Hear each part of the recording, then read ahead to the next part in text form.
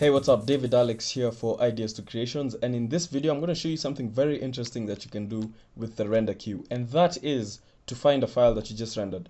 So you have this file that you worked on a while ago and you rendered it out, and then for some reason you forgot where you rendered it to, or you've just rendered and you want to quickly get to where the file is so that you can copy it wherever it needs to go.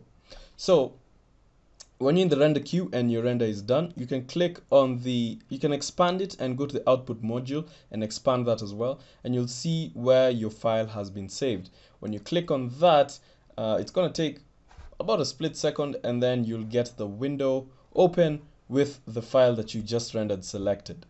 That's pretty damn handy.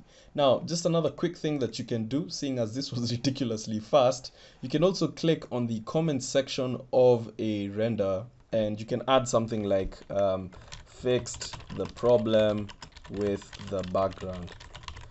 That way, when you leave your project and then you come back and you find like 50 files have been rendered, you can know that uh, why different ones were rendered and so on.